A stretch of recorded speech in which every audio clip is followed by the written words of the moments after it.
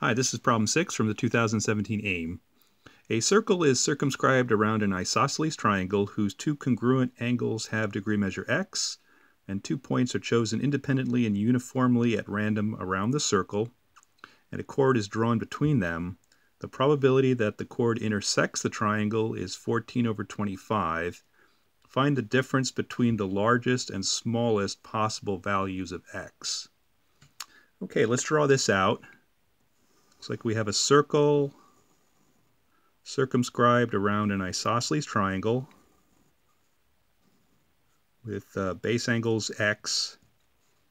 And that specifies the arc length around this circle. I have an arc length of 2x, 2x, and 360 minus 4x. And we're trying to place points around this circle and trying to figure out if the chord drawn between those points intersects the triangle. And we know that the probability that they intersect is 14 over 25.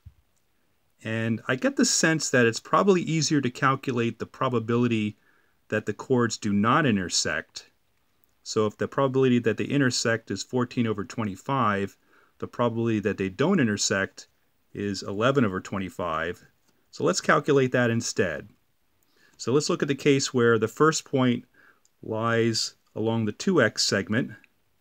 Then the probability that that point with the second point will not intersect the triangle is 2x divided by 360, the probability that the first point is within this region, times the probability that the second point is also inside that region, and that's just the square.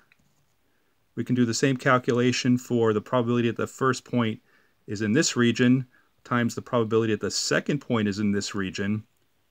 And that's just 2x over 360 again squared. And the probability that the first point is in this third region times the probability that the second point is also in this third region is 360 minus 4x over 360 squared, and we know that that probability that doesn't intersect is 11 over 25. Okay, so it looks like we need to solve for x. There are probably two roots, and we have to find the difference between the two roots of this quadratic. Now I notice we're carrying around this large number 360, and that's going to get a bit messy. So let's do a variable substitution here to knock down the size of these numbers. Let's solve for y is equal to x over 360, and then we'll plug it back in once we solve for y. So that uh, makes things a little bit easier. We then have 2y plus 2y squared plus 1 minus 4y squared. It's 11 over 25. Expand this and bring some terms together. 1 minus 11 over 25 is 14 over 25, and that's equal to 0. We can multiply by 25 and divide by 2. Let's try to keep the factors out. Hopefully we can do this without making a mistake. Minus 100 plus 7 is equal to 0. Okay, we have to work with this quadratic, and we know from the quadratic equation that the difference between the two roots of this equation are given by b squared minus 4ac over a.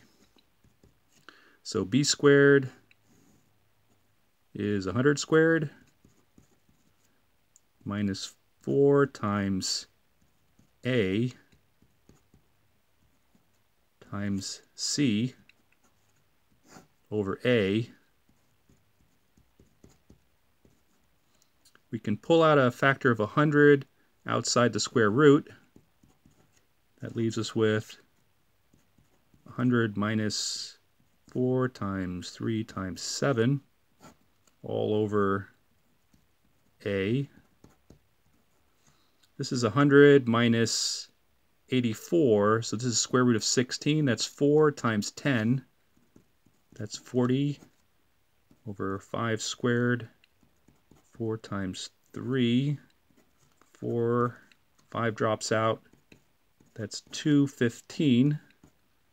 That's the value of the difference between the roots in terms of y. To get the difference in terms of x, we have to multiply this by 360. So the difference in the roots is 215 times 360, and that's equal to 48. Final answer. Hope that helps, and we'll see you at the next video. Take care. Bye.